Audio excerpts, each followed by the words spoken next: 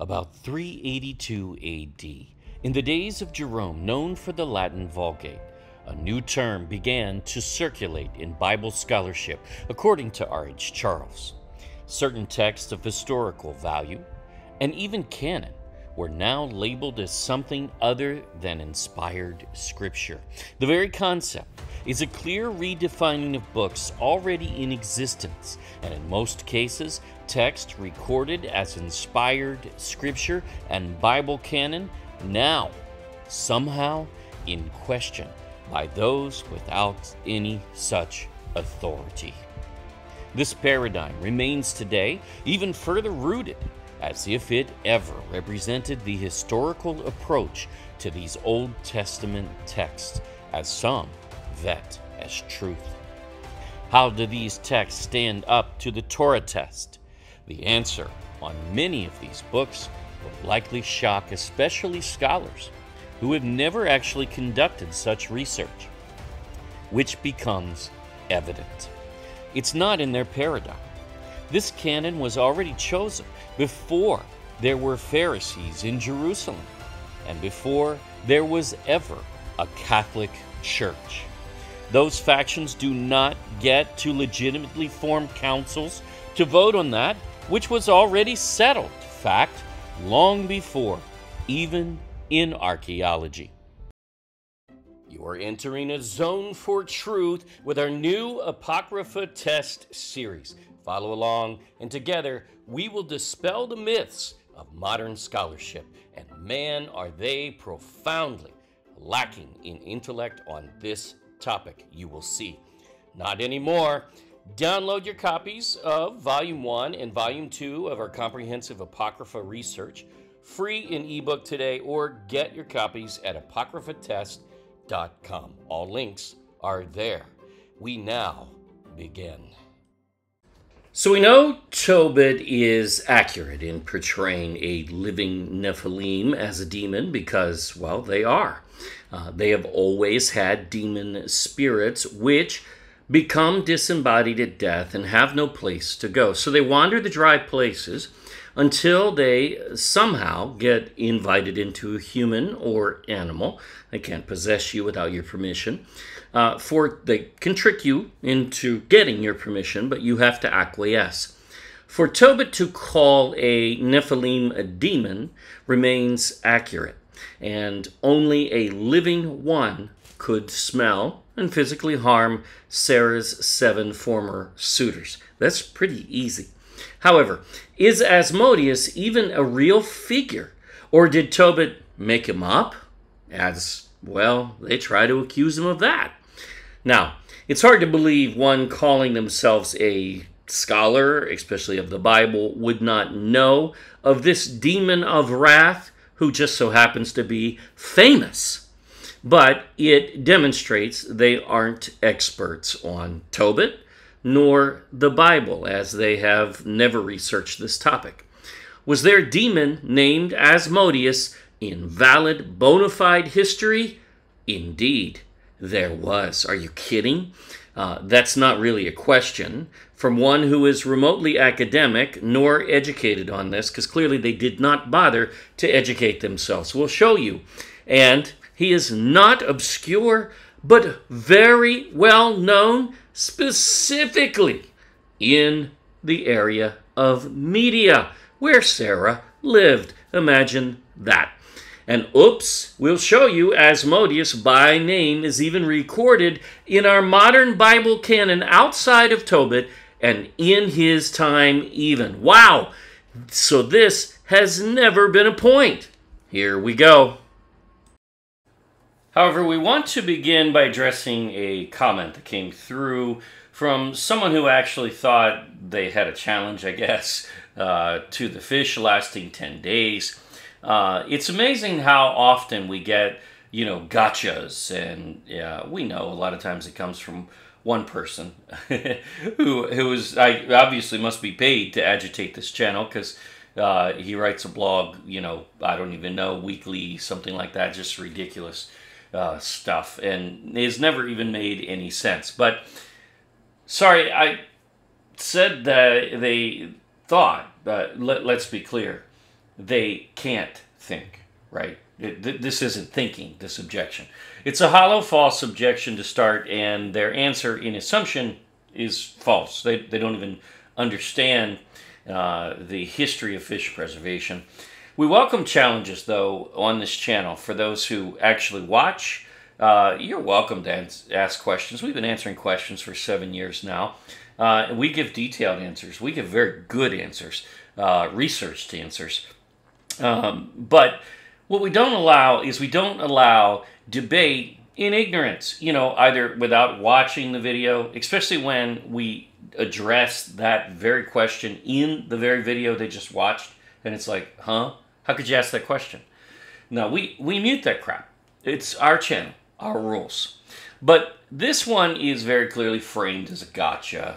We know probably where it came from. We don't really care. So their comment basically says the fish that Tobit ate for 10 days, well, it's impossible. Sa, gotcha. Fish can only last 24 hours without refrigeration unless they're dried. Is that even true? Uh, no, that's false because there's other preservation methods other than drying fish. Oops. So the, the point is already false from the beginning. But the bigger thing is they can't even think.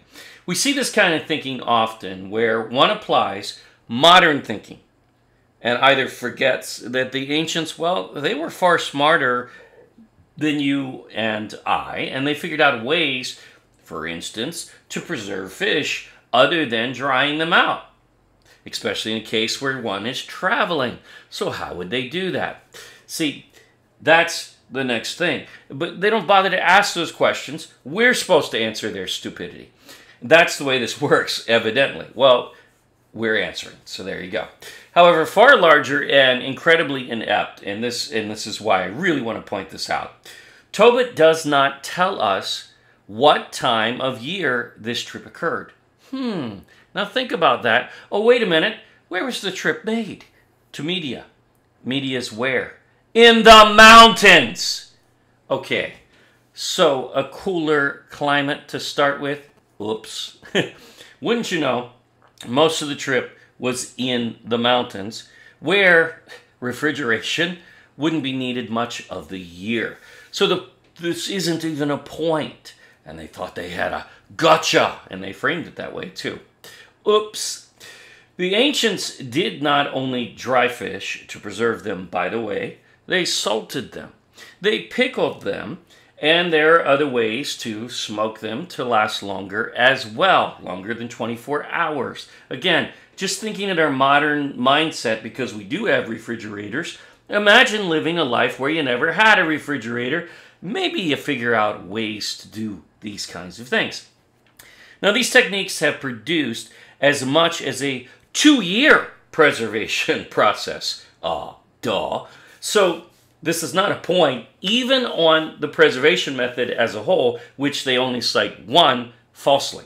It's a false paradigm in which they try to attack Tobit uh, and say, oh, we have to discount it as scripture uh, because, well, you can't read. Uh, yeah, maybe we're not going to do that. No scholar we saw mentions this, so it's not a scholarly objection, not that it, it wouldn't surprise us if it came from some scholar somewhere. They do tend to just come up with it. Well, but what about? Yeah, okay, go answer your question. Go do the research and find out. You're a scholar, aren't you? Oh, no, you're not. Sorry. Did, didn't mean to assume that because you have a title and even a PhD behind your name that you would actually be able to research. Realize all Tobit tells us here, and this is in chapter 14, verse 2 uh, is that there is an eight year period from the time he was blinded. Now we know that he was blinded on a specific date, right? Because it's the feast of Pentecost, or Shavuot in Hebrew, Pentecost in Greek, same feast. Anyone that tells you otherwise doesn't know the difference uh, between the Greek word and the Hebrew word because they're the same. They're used the same. They're interchanged throughout Scripture, especially in the book of Tobit. But we are not told what time of year that eight year period occurred. Uh, you know, if you tell someone, you know, eight years later, I did, did you mean eight years to the day?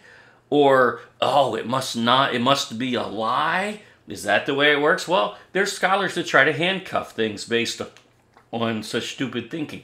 Of course, you wouldn't. In the mountains of media, this is certainly not an issue for refrigeration most of the year. Uh, with salting, smoking, and pickling techniques, uh, and the fact that Tobias was traveling with a, oh, oh, oops, forgot, an archangel who could figure out how to use parts of the fish to, well, heal blindness and cast away a demon, but somehow this big old archangel, well, he just couldn't figure out how to preserve a fish for 10 days. Oops. Oh, and one last thing the fish jumping out of the water, serving himself up basically as a meal or meals, uh, is a fourth miracle in this account. Uh, yes, there are miracles here. Uh, uh, wake up, scholars, and learn how to read. Now, I don't know about you, but I happen to have grown up in a water town, and there was lots of fishing uh, in many formats, whether by boat or on a pier or standing on the, the riverbank, whichever. Uh, maybe you've heard a fishing tale of a fish jumping onto a pier or the shoreline or a boat. Uh, maybe uh, again, it may well be a tale, but even if that ever happened, in this case, the timing especially makes it a miracle, as this happened to uh, Tobias on the way uh, and provided provision for a long journey. That is no coincidence. It is divine intervention and, by definition, an unexplained miracle. How about that? Now, of course, this is a demon, and as the Bible is not a catalog of demons ever, uh, we have to go to what we call Iran today. That's the area where Sarah lived, where this demon was harassing. Um, so basically, uh, this is in that area, especially a very famous demon. Really, no surprise, and not a mystery to history at all. We find their history in that area. Uh, yes, within their religion of Zoroastrianism, uh, Mazdaism, Mithraism, whatever you want to call it. Uh, there's other religions too from there by similar name that would mention uh, Asmodeus, even in some of their lore in other ways that is not necessarily uh, part of any of those religions either. Uh, this ain't rocket science, folks, but it certainly is not scholarly to throw stones at the book of Tobit over something so easy to find in history. This is pathetic when you think about it. Wait till you see this. This name, Asmodeus, is actually two words, uh, Asmodeus, uh, in Avestan, uh, or the Old Persian language, essentially. Uh, very well documented uh, in Before Tobit, for that matter. We'll show you. Oh, and where did Sarah live? Well, Media Persia, same area. Duh. Uh, scholars can't bother to go to their history uh, just to learn this. I mean, it it's really shouldn't be that hard for them. Uh, it's very easy, uh, amazing.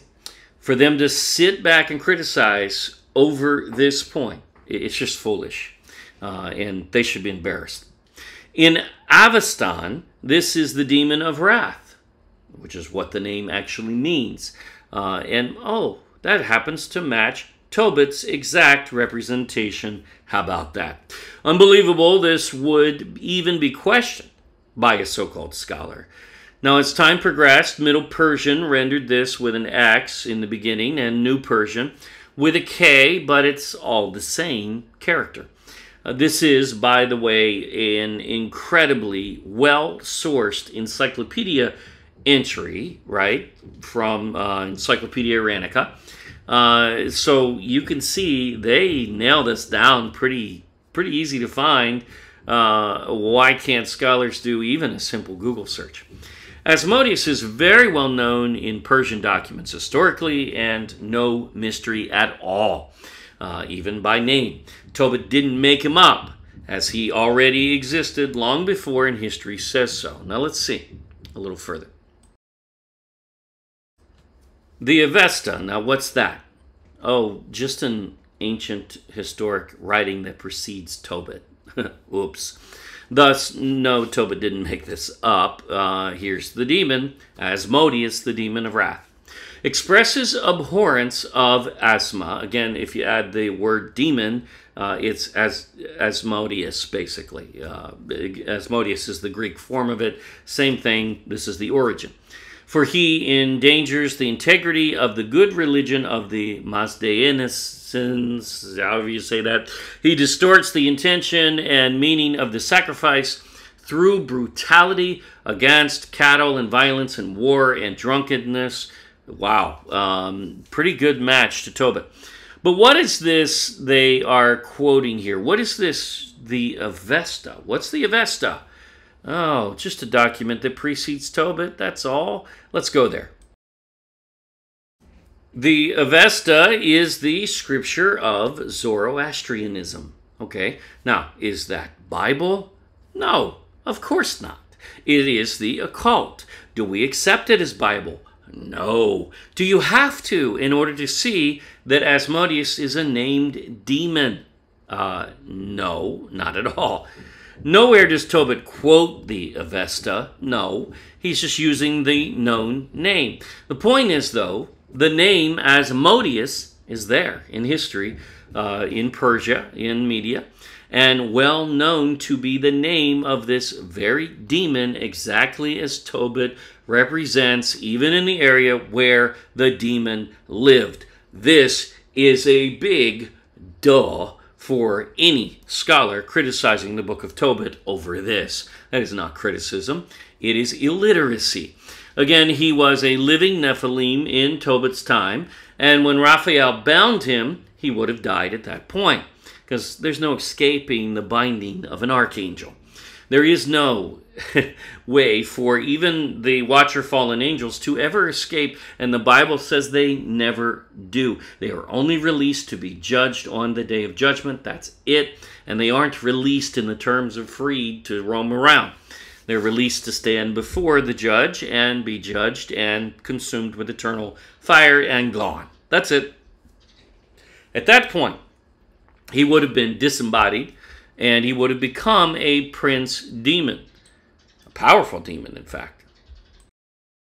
Now, this is a long article because it is so super well sourced. As you can see the sources, uh, we highlight them screen by screen. We're not going to go through all of that, but you can look it up for yourself. Uh, it's easy to find.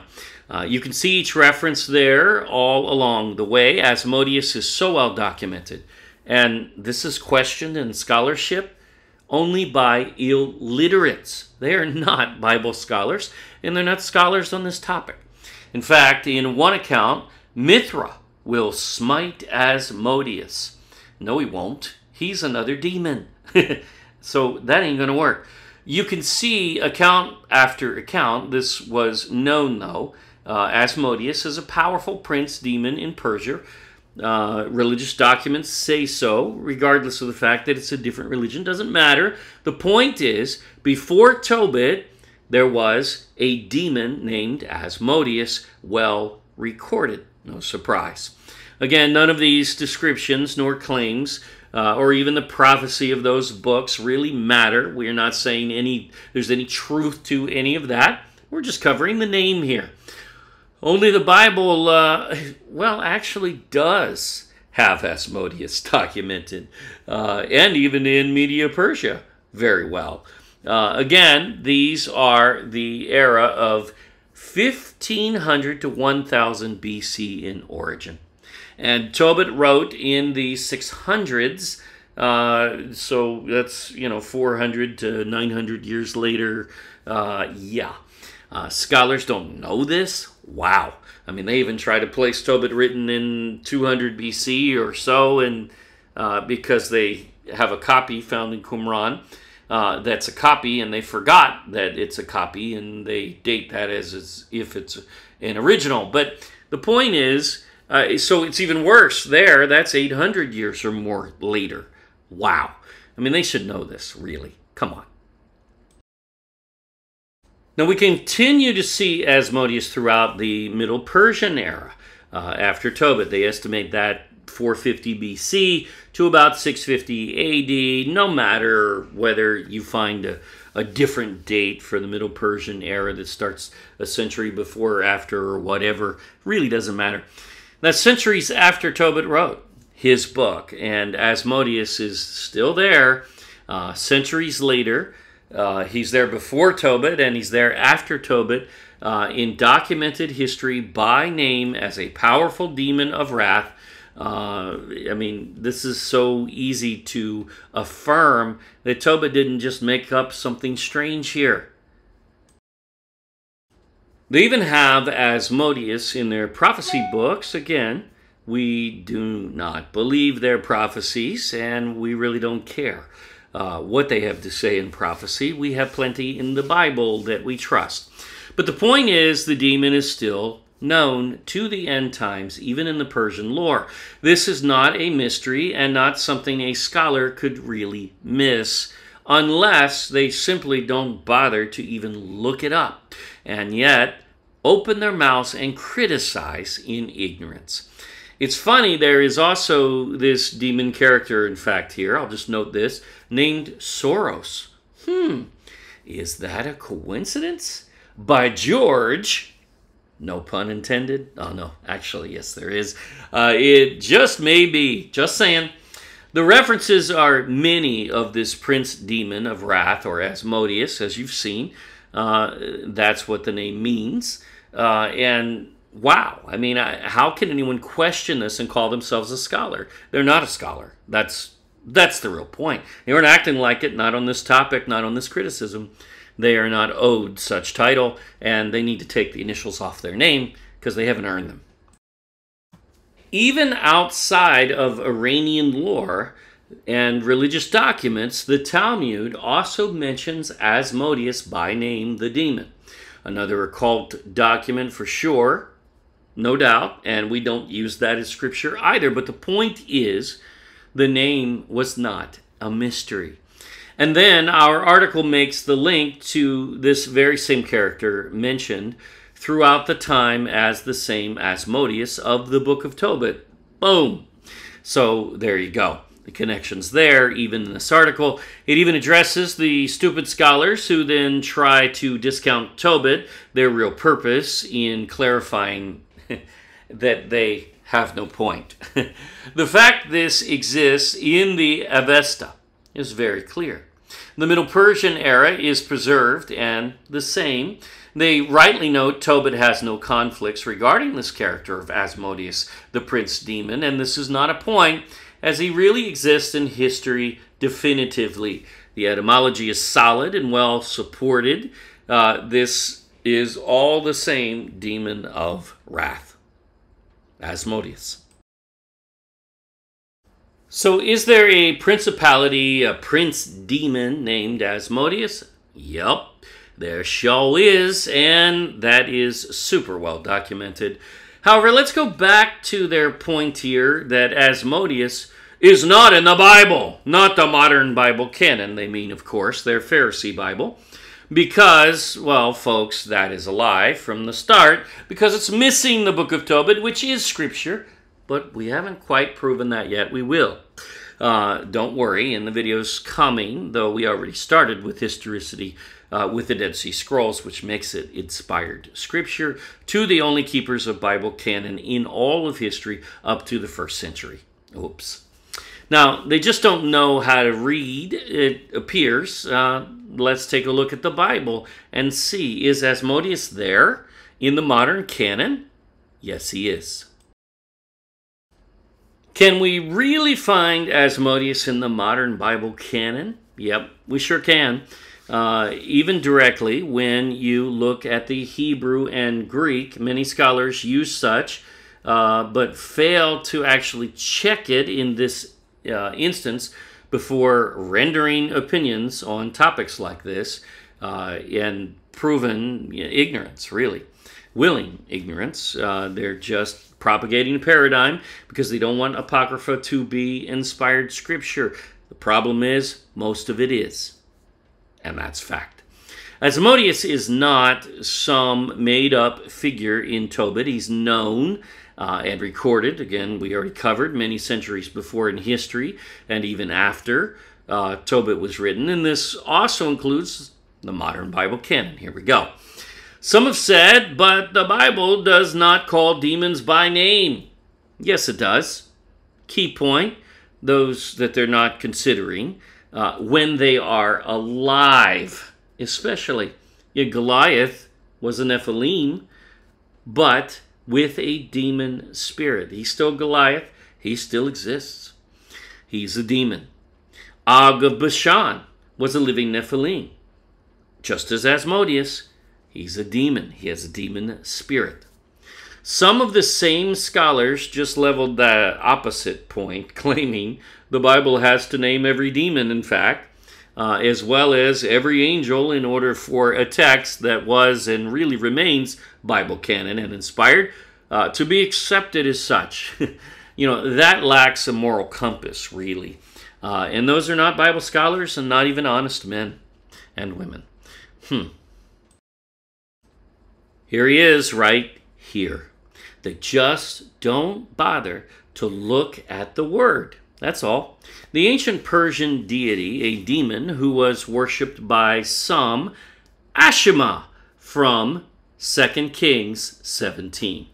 Ashima is the same as the Avestan Asma, and add the word demon, ah, in Avestan, and you get the origin of Tobit's Asmodeus, written in Hebrew originally uh, what's that? Second Kings. Mm, how about that?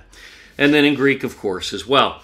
These replacements of northern Israel brought their pagan gods, including Ashima, Asmodeus, uh, Ashima demon, Asmodeus, that's same thing, uh, into the land of northern Israel. They infused that with the worship of Yahuwah, uh, which Yahuwah rejected then and still does uh, today, that's known as Rabbinic Judaism. It was Phariseeism in the Bible.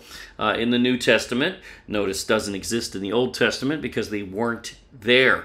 Uh, the temple priests didn't call themselves rabbis in the Old Testament. So, what changed? Well, what changed is a new religion was installed by the usurpers of the priesthood who attacked the temple, foreigners who came in and even came from Ashmodai Modi. Yeah, a town named for Asmodeus. How about that? Uh, Ashima, Asima, is the same as the Persian demon of wrath. False religions worship demons and fallen angels. What are demons? Nephilim, which are demons. Uh, you know, same thing. Understand that. Ashima is a prince demon.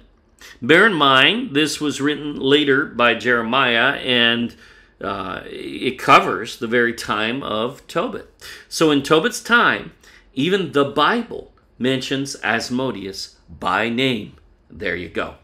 This is such a misinformed question, really, uh, from scholars who have done zero research to answer their question.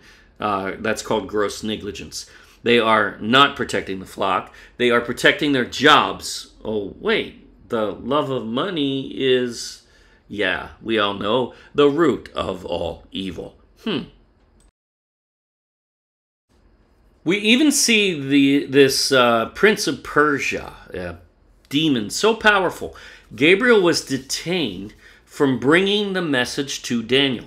Now, in Daniel 10, bear in mind, Daniel lived well after Tobit right? So this occurred after Tobit's lifetime, which means Asmodeus was dead. The, the physical uh, Asmodeus Nephilim was dead, and only his demon existed as a prince demon. He is the prince of Persia. Indeed, Daniel 10, uh, we see this account where the archangel Michael had to step in and assist Gabriel because Gabriel was being detained by this powerful prince demon. How about that? Now, certainly not a man, had to be a demon, not a king, not a human prince. No way they could detain an angel. It's not Satan, as he's never indicated as just Prince of Persia. No. Uh, this is a regional demon, very powerful. Uh, this is Asmodeus, clearly. Uh, even though his name isn't mentioned, remember, he was bound by Raphael when he was alive, and he died in Egypt after he was bound at some point. And that would be before Daniel. Now, we also find a people group, and, and this is pretty, I mean, this is huge that this has become so hidden uh, in Bible scholarship because the enemy is within. That's why. Uh, I'm not saying all scholars are. I'm saying they're educated by them, and they're the ones in control of the the whole paradigm. The Pharisees control seminaries, um, and because it's it's their concept really. Um, basically, uh, this is a group name for and aligned with Asmodeus, at least in doctrine, but likely bloodline. In the Greek Septuagint, this is well laid out. There is a people in Genesis 10:14 uh, identified as the Asmodeans, basically, or Hasmonim. Um, notice they're mixing the Hebrew and the Greek there, uh, as the end of the name, I am, is the plural in Hebrew. Uh, later, this will be rendered in the occult book of Maccabees, uh, which we will obliterate, already do in the book in volume 2 uh, as the Hasmoneans, one of the names of the Maccabees. Oops. well, these are just facts, folks. This is a people who originate from Asmodeus the Nephilim, whether by blood or by doctrine, either way, doesn't matter.